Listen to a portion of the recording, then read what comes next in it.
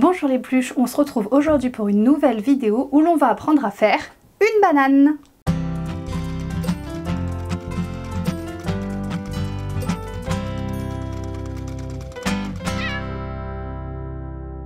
Ma maman et ma petite sœur m'ont commandé chacune une banane. Voici la banane pour ma maman. Je l'ai déjà réalisée une première fois. Je voulais pas vous la montrer euh, celle-ci en tuto parce qu'en fait j'ai utilisé le même tissu à l'intérieur et à l'extérieur. C'est un tissu qu'elle m'avait donné. Donc je m'étais dit que pour le tuto ça serait compliqué de vous expliquer doublure, endroit, envers, etc. Mais au moins je peux vous la montrer dès le début de la vidéo pour que vous voyez à quoi va ressembler le tuto. Elle se fixe ici avec un petit mousqueton. Elle est réglable. Alors, je n'ai pas vérifié au niveau de sa taille comment elle voulait euh, la régler. Je la laisserai euh, couper s'il faut pour raccourcir un petit peu. Voilà. De toute façon, je sais que ça se porte beaucoup en bandoulière de cette façon. Donc, vous voyez, la taille est bonne. Donc, à elle, après, euh, je lui réglerai. Mais voilà. Donc, à quoi va ressembler? Donc ça c'est une taille XXL, ça peut exister en plus petit mais elles m'ont demandé des grandes, des grandes bananes. Donc voici pour la version pour ma maman.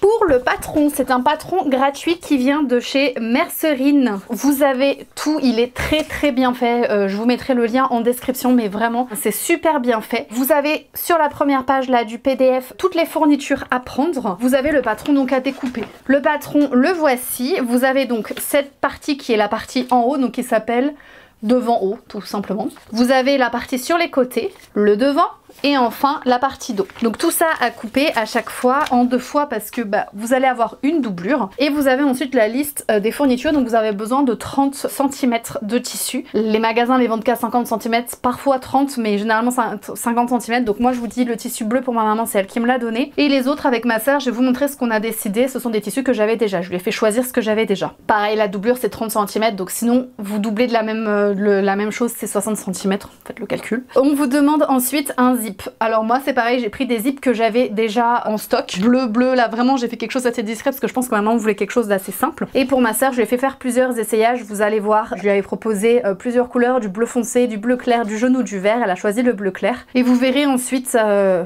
la tête corail, la banane. Vous allez voir, ça sera une banane assez originale. De la sangle, il vous faut 1m20. Donc là, j'ai de la sangle à paillettes et il faut que vous coupiez deux fois 8 cm dedans pour les côtés. Ensuite on vous demande deux mousquetons, deux anneaux pour accrocher, donc mes anneaux, tac, ils sont là. Comme j'ai pas les deux mêmes tailles de sangle, cette sangle là est plus grande, j'ai dû prendre deux tailles à chaque fois différentes pour celle de ma maman et pour celle de ma petite sœur. Et une boucle de réglage. Donc elles sont vendues par deux, c'était parfait, j'avais deux bananes à faire, donc c'était parfait. Donc voilà, ensuite vous avez donc toutes les explications qui sont mises sur le PDF. Donc c'est très bien expliqué, vous avez le dessin, vous avez tout. Je vous cache pas que j'ai eu des petits soucis avec celle de ma maman, comme c'est le même tissu, des fois je me souvenais plus l'envers, l'endroit, j'ai dû découdre plusieurs fois, maintenant c'est bon. Je l'ai fait une fois, je devrais mieux m'en sortir euh, pour la deuxième version. Je vous montre quand même. Donc j'ai pris, moi j'ai décidé de le doubler avec de la watt pour que ça se tienne bien. Vous voyez que là, quand je vous la tiens comme ça, elle a une sacrée tenue. Je, peux la tenir par là, bon, avec le poids, mais vous voyez, elle se tient quand même, enfin je sais pas si vous vous apercevez, elle se tient quand même mieux. Et je trouvais ça plus sympa parce que le tissu était très fin, donc je me disais le moindre truc qu'elle va mettre, ça va prendre la forme de ce qu'il y a à l'intérieur. Ça sera pas du tout agréable, surtout qu'on porte près du corps. Donc tout est doublé avec de la watt à l'intérieur et je trouve ça beaucoup plus agréable.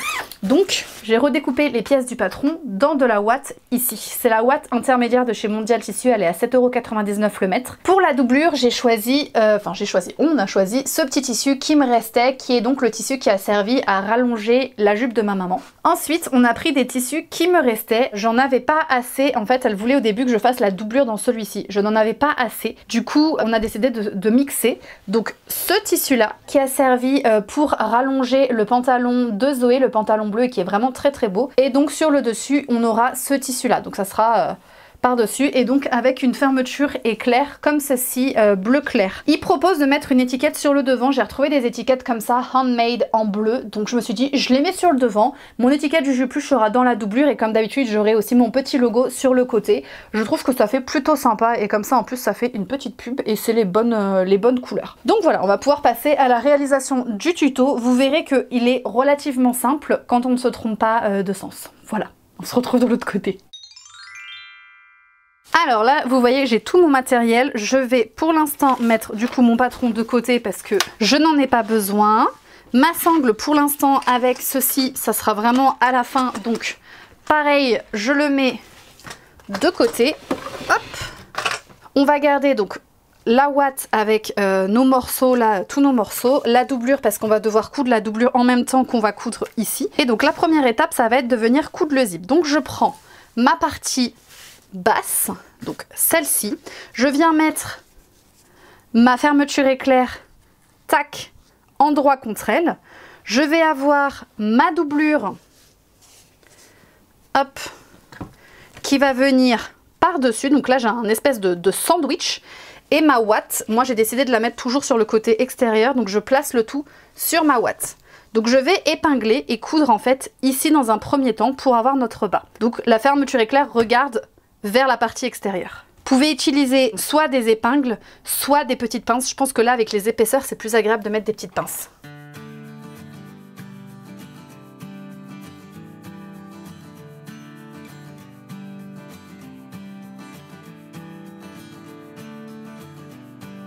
Je change mon pied presseur pour mettre le pied euh, spécial fermeture à éclair.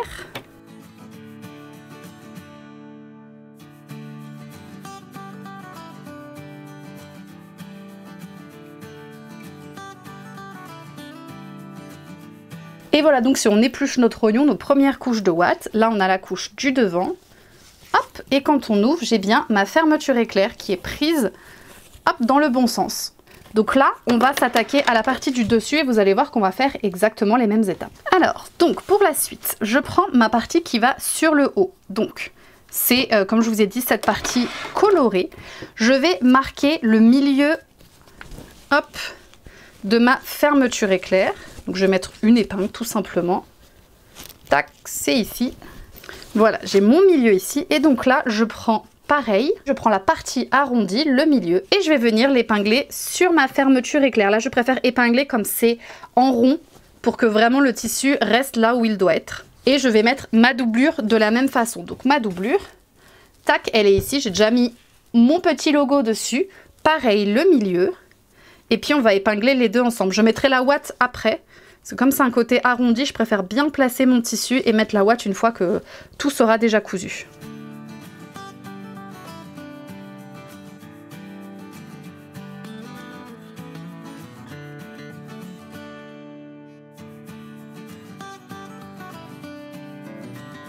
Une fois que c'est fait, je viens placer donc mon morceau de watt, donc en faisant bien le même sens, l'arrondi vers le haut, et je le place côté devant pour que ça soit raccord avec ce que j'ai déjà fait là.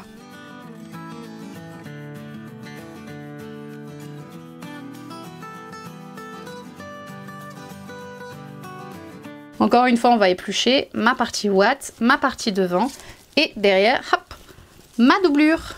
Maintenant que je suis à cette étape-là, je vais venir faire une surpiqûre ici et une surpiqûre en dessous.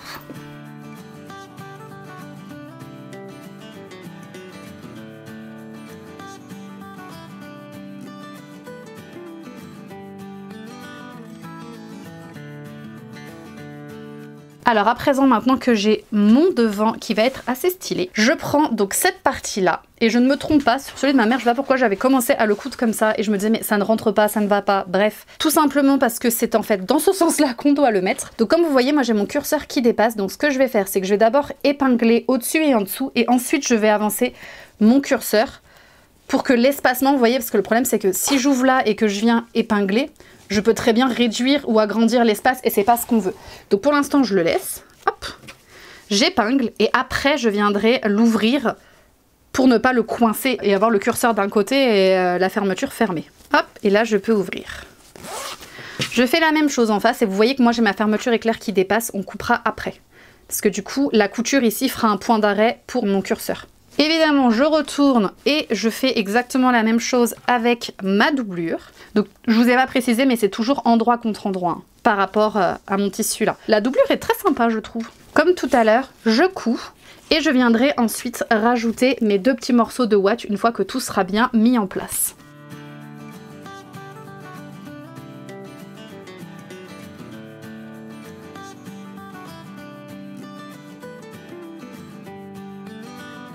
Je viens donc placer ma ouate toujours sur mon côté extérieur et pareil de l'autre côté.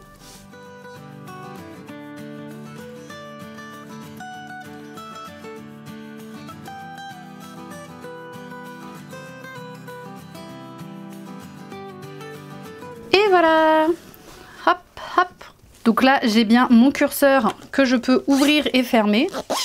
Il n'est pas coincé, vous voyez que du coup, le côté fait les points d'arrêt. Donc, je peux venir couper ici ce qui est en surplus. Là, je profite pour couper un peu de ouate. Vous voyez que j'ai de la ouate ici qui dépasse, parce que c'est ça, ça s'étire un peu même quand on coupe. C'est difficile de couper la ouate pile poil, donc ça déborde un peu. C'est pas grave. On recoupe après, il vaut mieux en avoir trop que pas assez. Et on va pouvoir avancer sur la suite. Je mets ça de côté. Je viens avec mon dos qui est ici qui lui du coup comme il était en un seul morceau je l'ai gardé en un seul morceau. J'ai pas joué sur les couleurs. Je viens prendre mes deux petits morceaux de 8 cm tac ainsi que mes deux boucles. Hop je viens les placer au milieu. Et je viens tout simplement me mettre ici sur le bord.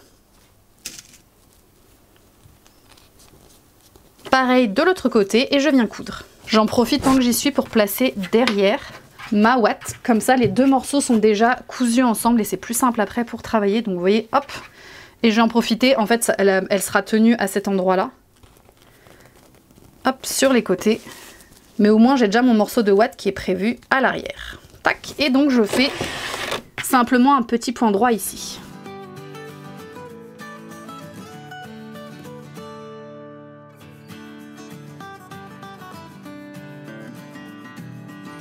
Je garde donc ma partie dos comme ceci et je viens placer ma partie devant. Alors, je pense à ouvrir ma fermeture éclair avant. Hop donc là, je vais venir les placer endroit contre endroit, de façon à ce que quand on le retourne, on ait bien notre devant qui se retrouve avec le dos derrière. Là, je viens coudre comme ça, partout, partout, partout, partout, partout. Je ne laisse pas d'espace, je couvre vraiment partout.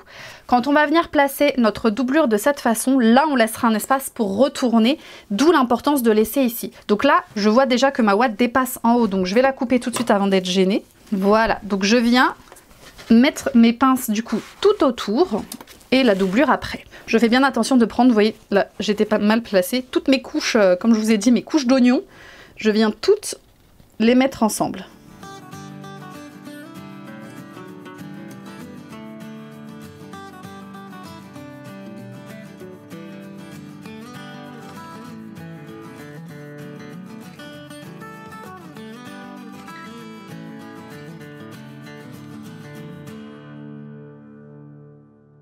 Hop, là je vais retourner pour voir si toutes les pièces ont bien été prises. Là vous voyez que non, j'ai ce tissu là qui bouge un petit peu. Donc de ce côté, il va falloir que je refasse une couture.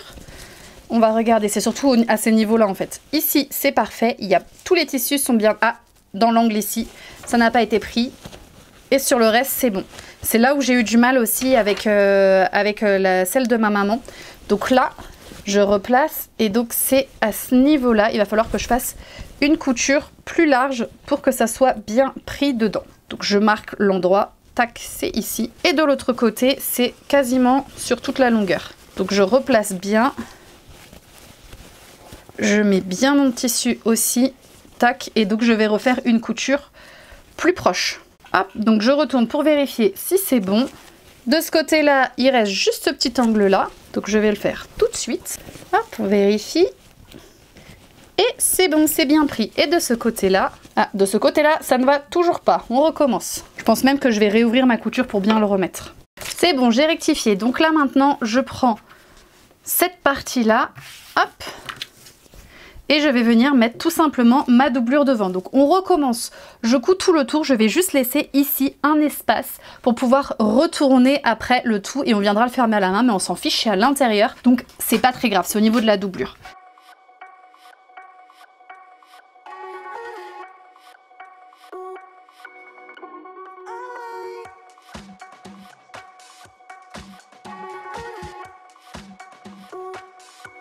Voilà, avant de tout retourner, je viens couper tous mes fils et le surplus que vous pouvez avoir. Par exemple, vous voyez sur le dessus, j'ai quand même une bonne couche là, je vais pouvoir recouper. Et surtout, je viens couper mes angles de façon à ce que quand je le retourne, comme il y a plusieurs épaisseurs, que ça soit une plus jolie finition au niveau des angles. Donc je fais ça ici. Et comme je vous dis, s'il y a besoin de couper un peu de surplus, vous le faites. Une fois que c'est fait, je vais pouvoir retourner par l'ouverture donc que j'ai laissé ici. Donc je retourne, je retourne, je retourne.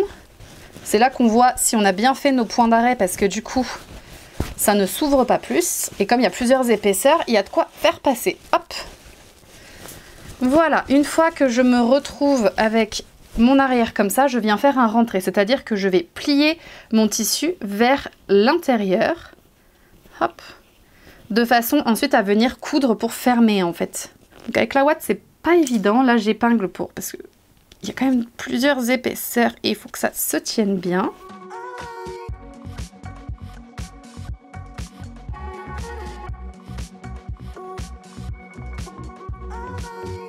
C'est là qu'on voit qu'on a bien fait de laisser ouvert pour pouvoir retourner sur le côté en droit du coup. Hop C'est vrai qu'elle va être sympa celle-là. Elle sera plus originale. Là, hop, je tire ici, j'insiste bien au niveau des angles. C'est là que vous voyez que quand on les coupe, ça fait quelque chose de plus joli. J'aime beaucoup le côté molletonné du coup. Donc voilà ce que ça donne pour la banane. Vous voyez qu'il manque du coup la sangle parce que pour l'instant c'est juste une pochette.